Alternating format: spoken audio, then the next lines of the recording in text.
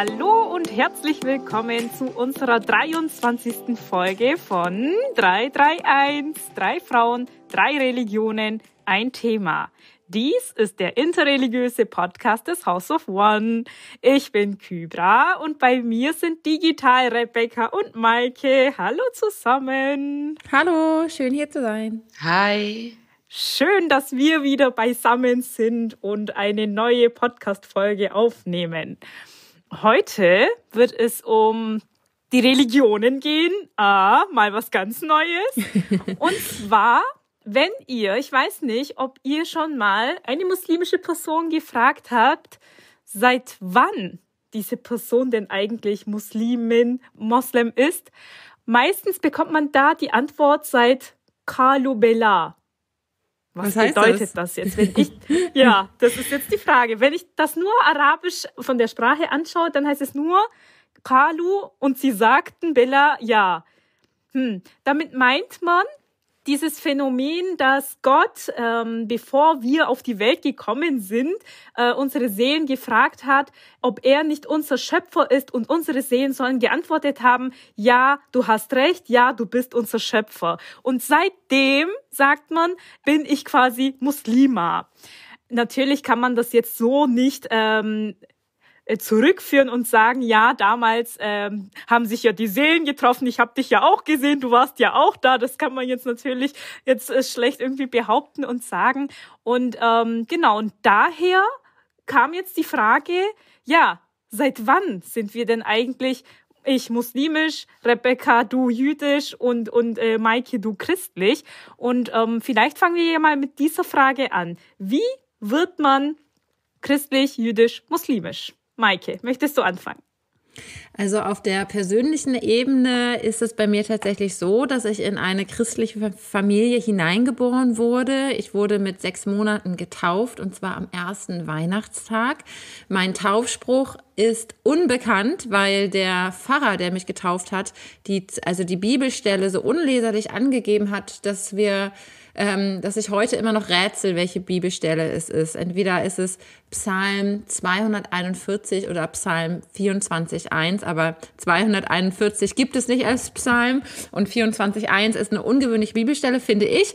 Also wie auch immer, ich wurde in eine christliche Familie hineingeboren, meine Eltern haben mich taufen lassen und ich habe ja schon öfter im Podcast erzählt, darüber hinaus passierte aber nichts. Also meine Eltern haben mich nicht in die Religion eingeführt.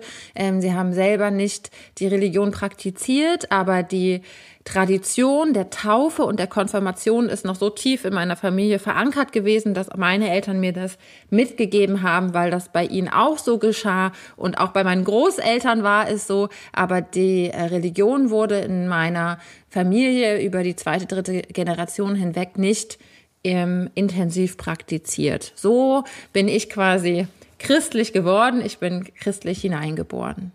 Ich habe jetzt noch eine Frage.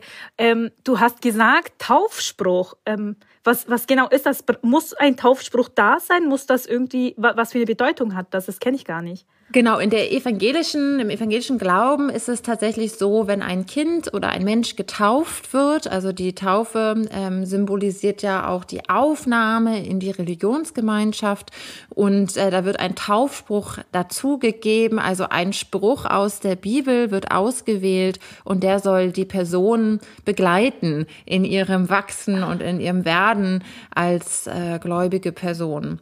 Und ähm, das gibt es in der katholischen Tradition, glaube glaube ich nicht. Fragezeichen an die katholischen ZuhörerInnen. So schreibt mir gerne. Aber ich hatte tatsächlich mal ein Gespräch mit einer katholischen Freundin und die meinte, hä, Taufspruch? Irgendwie gibt's nicht. Und ich glaube auch die ähm, Generation über mir, ähm, die evangelisch sind, auch die hatten noch keinen Taufspruch. Das ist also eine relativ neue äh, Tradition, die es seit einigen Jahrzehnten gibt.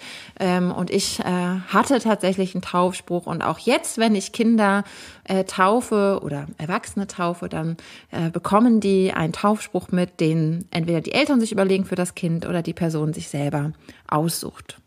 Das ist ja toll. Es hört sich so ein bisschen an wie so ein Lebensmotto. Ähm. Ja, voll schön, aber ich kenne meinen nicht. Ja. Du suchst dir einfach eins aus und sagst, das ist mein Ja. Wie ist das bei dir, Rebecca? Äh, ich bin jüdisch geboren, weil ich eine jüdische Mutter habe.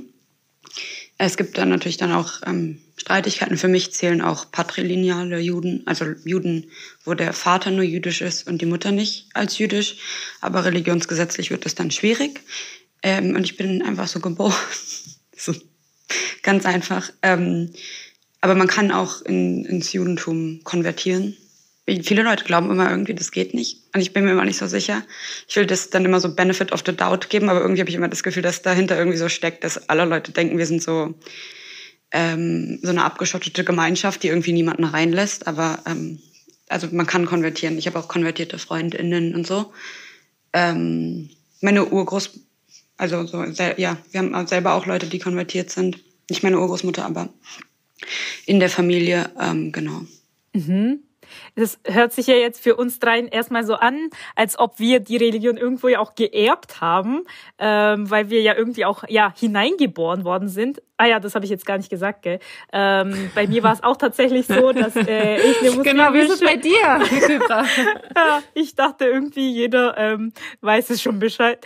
Äh, meine Eltern sind auch muslimisch und ähm, genau deswegen wurde ich auch ich wollte schon fast muslimisch getauft sagen.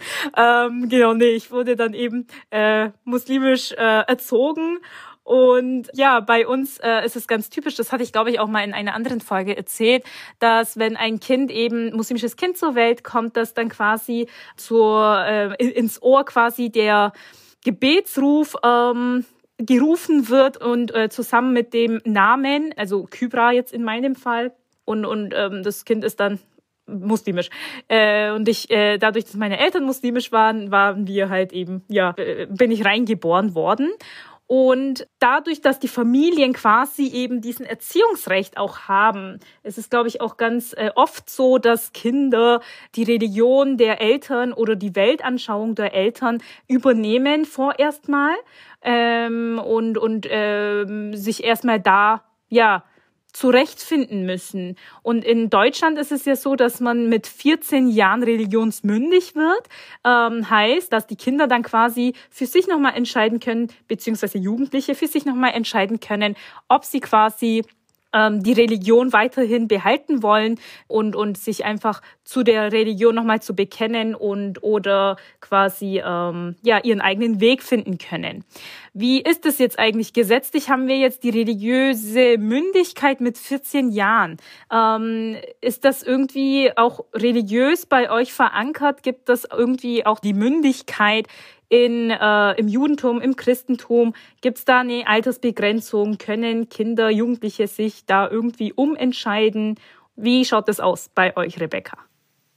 Ja, okay. Ähm, also es gibt halt mit 12 oder 13 eine Bar Bat Mitzvah oder Bnei Mitzvah in der, im Plural, wo das Kind halt sozusagen das Ola Shamaim, also das, das Joch der Gebote auf sich nimmt und dann auch ähm, religionsmündig ist und tatsächlich eine Verpflichtung, also religiös gesehen eine Verpflichtung hätte, bestimmte Mitzvot, also ähm, bestimmte Regeln und ähm, Verbote zu befolgen.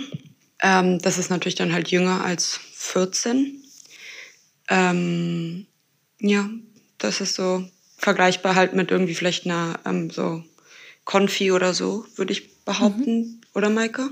Genau, würde ich auch sagen, wenn ich den Ball, wenn du mir hier gerade einen Ball zugeworfen hast und ich den aufgreife, ähm, wenn wir davon ausgehen im Christentum, dass in der Regel oder zum größten Teil Kinder getauft werden, dann ist mit ungefähr 13, 14 Jahren steht dann die Konfirmation an und der geht einen Konfirmationsunterricht, eine Konfirmationszeit voraus. Das heißt, dass Jugendliche im Alter von 13, 14 Jahren ein bis zwei Jahre äh, in einem wöchentlichen oder in einem monatlichen Rhythmus ähm, einige Stunden in der Gemeinde verbringen, in der jugendlichen Gruppe mit äh, einer Gemeindepädagogin oder einer Fahrperson und ähm, genau werden eingeführt in das Glaubensleben, in das Gemeindeleben, erfahren Punkte nochmal über den Religionsunterricht hinaus, das wir ja gerade hatten. Also der Religionsunterricht darf zum Beispiel auch nicht äh, befehlen, in Anführungsstrichen, dass jetzt alle beten müssen. Ähm, also das sollte man, versteht mich nicht falsch, das sollte auch immer in der, in der Konfi-Arbeit nicht stattfinden, jetzt bete. Aber da ähm, ist doch die, äh, das spirituelle und gemeinschaftliche Praktizieren auch ein wichtiger Teil. Also zusammen Andachten zu halten und zu beten und Lieder ähm, zu singen und ähm, genau die, auch die spirituellen Erfahrungen zu stärken und gemeinsam zu machen, ist ein wichtiger Teil dieser Konfi-Zeit. Und im Religionsunterricht ist es natürlich ein bisschen schwierig schwierig, wenn man sich dort im schulischen Raum ja bewegt. Aber zurück dazu, am Ende dieser Konfizeit findet die Konfirmation statt. Und wenn das, wenn die Taufe ist quasi das Ja von Gott an den Menschen, an das Menschenkind, du bist, äh, du gehörst zu mir. Und die Konfirmation ist zwar quasi die Bestätigung des nun religionsmündigen Menschen, der jugendlichen Person, ähm, das Ja an Gott. Also dass ich habe mich jetzt intensiv darüber äh, darüber nachgedacht und damit beschäftigt und ich weiß, ich möchte den Weg nun als Christin, als Christ gehen und sage in der Konfirmation Ja zu Gott. Und wenn wir bei Sprüchen sind, die Jugendlichen suchen sich dann auch einen eigenen Konfirmationsspruch aus, also einen, auch wieder ein Vers aus der Bibel, mhm. der sie mit dem Taufspruch zusammen begleiten soll in ihrem Leben. Das mhm. ist die Konfirmation. Das Ja der Jugendlichen zu Gott. Ich würde auch noch mal ganz kurz einhaken, wenn ich darf, weil ich, ähm, wo Mike jetzt so angefangen hat zu erzählen, dachte ich, okay, ich habe zu wenig, ich habe zu wenig über Barbat Mitzvah gesagt. Also die Idee ist halt auch, dass die Kinder auch zum Unterricht gehen. Genau, deswegen dachte ich halt, das wäre sehr ähnlich.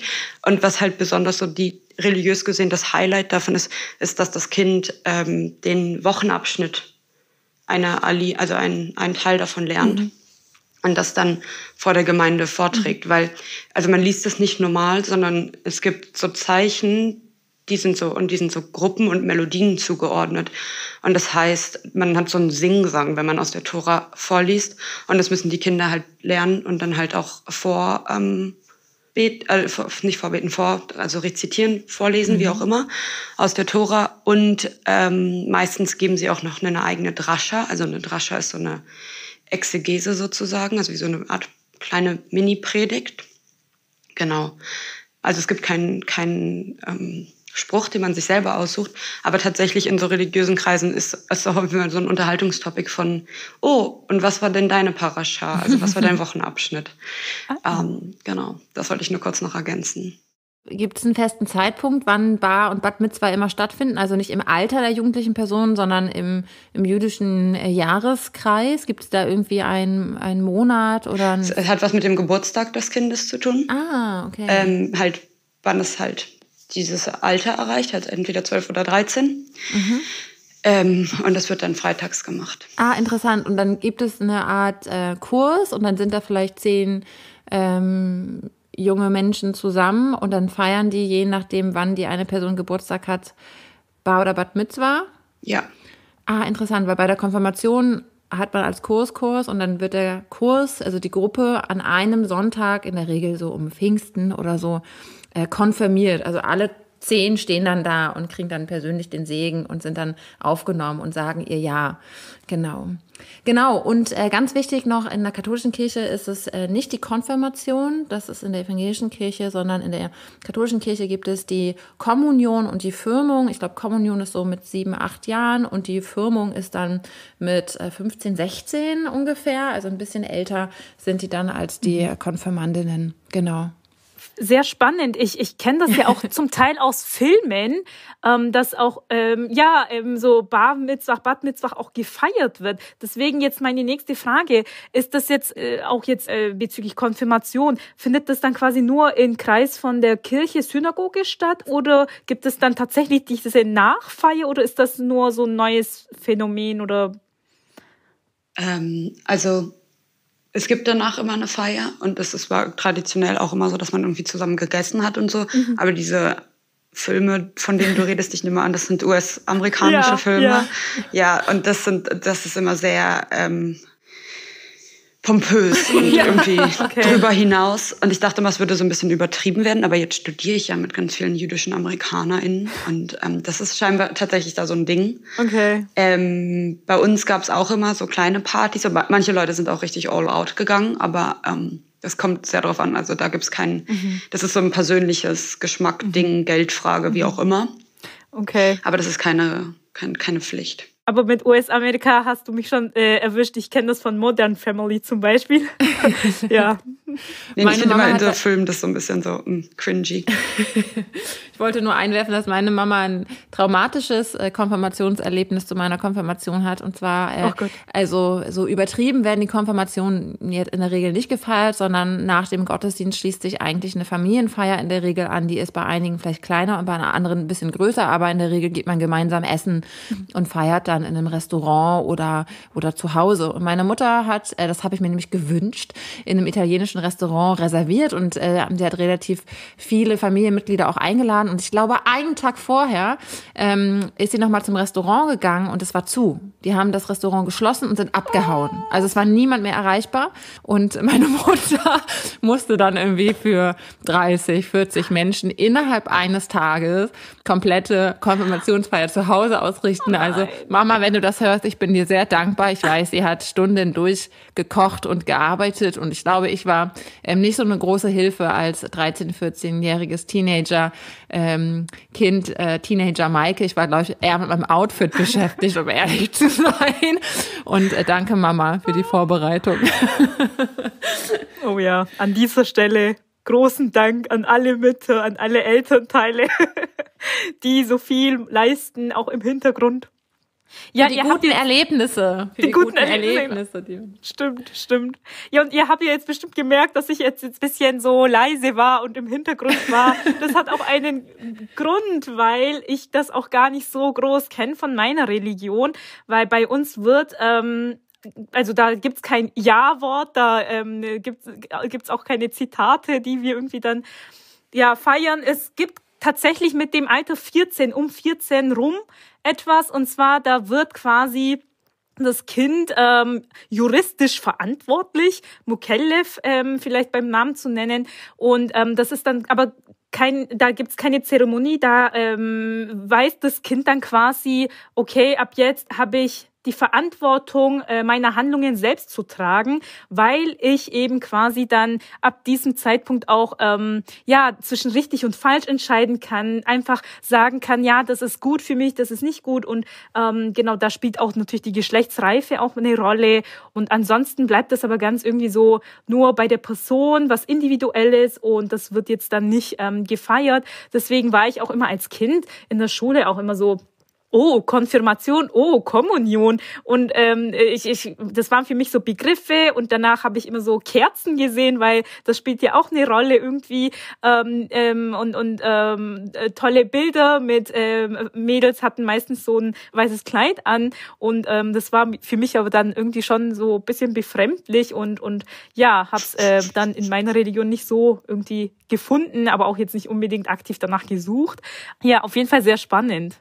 Es gibt ja noch das ähm, Pendant, ähm, das AT istische Pendant der Jugendweihe, also gerade auch so in den ah. östlichen Gebieten von Deutschland, mhm. ähm, stammt, glaube ich, auch aus DDR-Zeiten, ähm, als Religion ähm, eher an den Rand gedrängt wurde. Da wurde geschaut, ich hoffe, ich erkläre das richtig, da wurde geschaut, wie man trotzdem diese Art Initiationsritus auch im Weltlichen feiern kann. Und ähm, da hat, glaube ich, das Fest der Jugendweihe aus, ähm, ja, aus weltlicher Sicht den Übertritt der Kinder ins Jugendliche Jugendliche ins Erwachsenenalter, mhm. ähm, ins Jugendalter gefeiert, also mhm. sie aufgenommen in die, in die Gemeinschaft der Erwachsenen. Ich glaube, das hat so den Hintergrund. Mein Mann hat Jugendweihe gefeiert und in seinem Fall ging dem kein Kurs voraus. Ich glaube, mehrere Leute aus seiner Schule haben sich dann getroffen und haben eine Art Fahrt gemacht. Und dann gab es eine große Veranstaltung, also eine große Feier quasi. Und dann sind alle nach vorne getreten und haben äh, eine Gratulationskarte bekommen und eine, eine Blume, glaube ich, so weiß ich das von den Fotos. Ähm, und das war, ähm, ist die Jugendweihe und ich weiß, dass es heute unterschiedliche Programme gibt.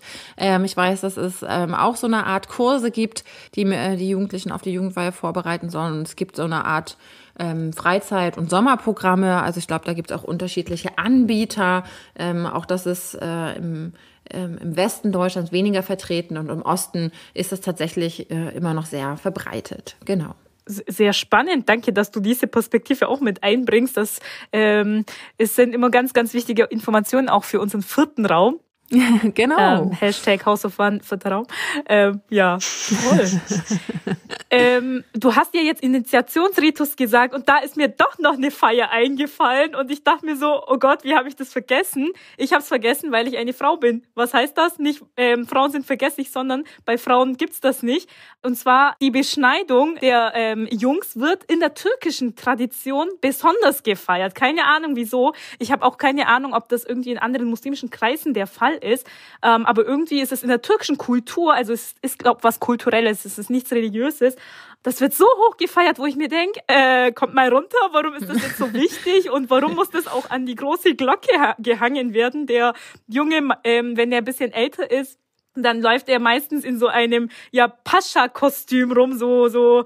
Ähm, ich weiß nicht, ob Pascha so ein Begriff ist, ähm, auch im Deutschen. Oder Raum. Prolet, wie aus der letzten Folge. Ja, genau, genau, genau. Und, und, und hat meistens auch so ein ja Zepter in der Hand und so eine komische Mütze.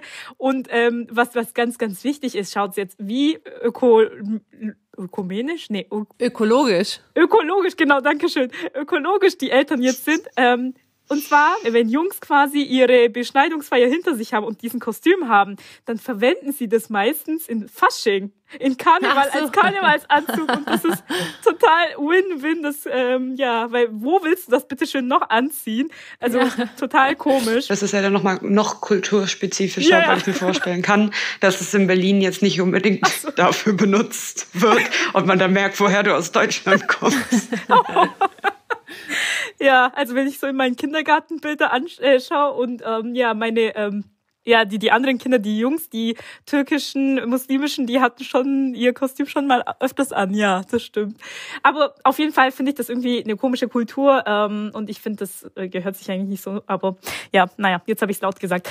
Ähm, ja, aber ansonsten haben wir jetzt gehört, jüdisch wir haben ja auch einmal gehört, jüdisch kann man auch im Nachhinein sein. Wir schauen auch gleich, ob ähm, man äh, auch muslimisch und christlich auch im Nachhinein werden kann. Deswegen die Frage, einmal muslimisch, immer muslimisch, einmal christlich, einmal jüdisch, immer äh, jüdisch und christlich? Oder kann sich das auch ändern? Wie schaut's aus bei euch? Ich glaube, das liegt immer aus der Perspektive der jeweiligen Religion. Also ich glaube, jede äh, Religion schaut bei diesem Thema ähm, aus der eigenen Perspektive daraus. Und das macht es vielleicht ein bisschen wirr, ähm, wenn man von oben drauf schaut. Weil wenn wir den Fall annehmen, dass eine christliche Person konvertiert, zum Beispiel zum Islam, ich vermute, ähm, aus christlicher Perspektive ist die Person, weil sie getauft ist, immer noch Teil ähm, der christlichen Gemeinschaft, auch wenn sie selber sagt, ich glaube nicht mehr an Gott. Aber ähm, im, im Bezug auf die Taufe, die Taufe kann nicht äh, rückgängig gemacht werden. Also einmal mhm. getauft heißt, äh, du gehörst zu Gott, auch wenn du nicht mehr an Gott glaubst. Du kannst aus der Kirche austreten und dann zahlst du auch keine Kirchensteuern mehr.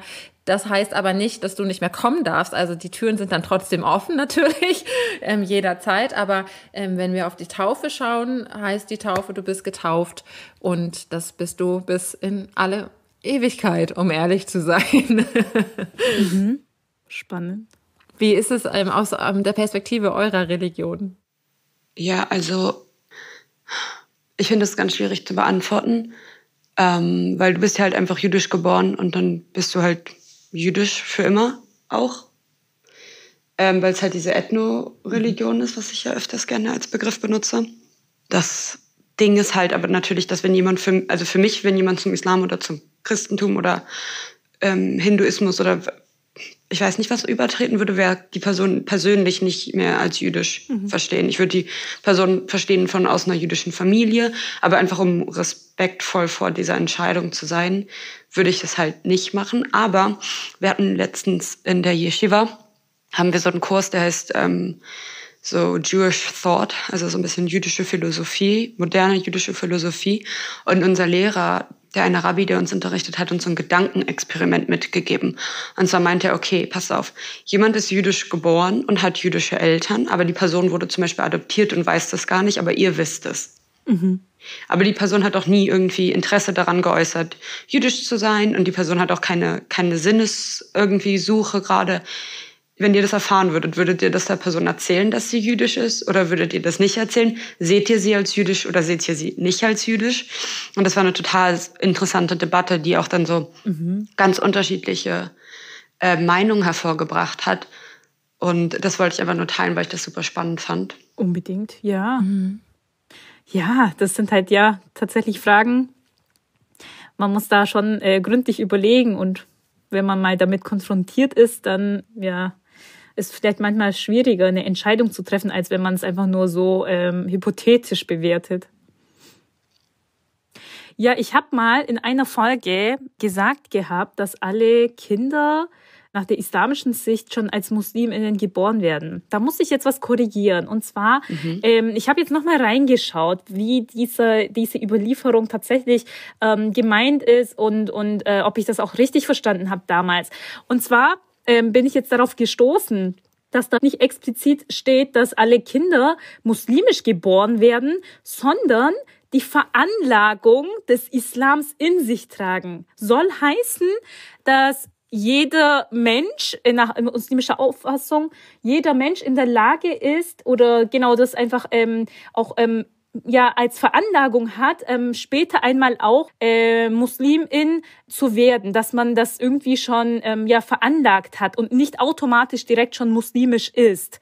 Wenn man in eine muslimische Familie eingeboren wird, dann ist es ähm, so, wie ich vorhin ja erwähnt habe, dann ist man äh, muslimisch, weil die Erziehung muslimisch ist. Aber im Nachhinein kann quasi jeder Mensch zum Islam ähm, konvertieren, weil diese Veranlagung, Grundveranlagung oder natürliche Veranlagung schon gegeben ist nach diesem Hadith.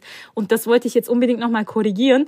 Und das hatten wir ja auch letztens in einem anderen Rahmen, nicht im Podcast, aber in einer Veranstaltung, wo wir ja eingeladen worden sind. Da hatten wir auch nochmal gesagt, dass eben quasi wir auch mit diesem Podcast mitlernen und, und ganz ähm, spannend für uns auch ist, ähm, also für mich auch jetzt hier in dieser Überlieferung nochmal reinzuschauen. Habe ich es tatsächlich richtig verstanden? Kann man das irgendwie auch nochmal anders auslegen und, und da einfach nochmal, wenn es äh, falsch war, dass man sich dann nochmal korrigiert, weil letzten Endes ist das ja jetzt keine Rede Gottes äh, und, und, und, und Fehler können wir uns auch erlauben. Genau, das wollte ich auf jeden Fall noch sagen. Und bei uns ist es halt ganz, hm, mit dem Glauben schaut es irgendwie so ganz elastisch aus, sage ich jetzt einfach mal vorsichtig. Mit elastisch meine ich, sobald jemand, muslimische Person, sich dafür entscheidet, ähm, ab heute jetzt, gerade jetzt nicht mehr muslimisch zu sein das einfach nur so ähm, verinnerlicht und sagt und davon ausgeht, ja, ich möchte das nicht mehr, dann ist die Person ab diesem Zeitpunkt keine muslimische Person mehr. Also man kann selber, so, sobald eine Person von sich selber behauptet, er oder sie sei keine Muslima mehr, dann ist die Person auch ähm, nicht mehr muslimisch. Wenn hingegen aber die Person sagt, ich bin muslimisch, aber ich komme dann her als muslimische Person und zeige mit dem Finger und sage, nee, du bist keine muslimische Person aufgrund diese Punkte, aber die Person behauptet immer noch, er oder sie sei muslimisch, dann heißt es in einer Überlieferung, dass die Person, die die andere Person beschuldigt, quasi aus dem Glauben rausfallen kann. Weil die Person ja von sich behauptet, er oder sie sei muslimisch. Habe ich jetzt ein bisschen kompliziert erzählt, aber ich äh, hoffe, dass äh, ja zu oft muslimisch, muslimisch. ich hoffe, ich das ist verständlich. Okay, danke schön. Ich habe es, glaube ich, verstanden. Alles gut. Ja, kluges Mädchen. Danke schön. ich weiß nicht, ob ich Danke sagen soll. Das hat ein bisschen von. na, na, okay. Das ist deine äh, Veranlagung.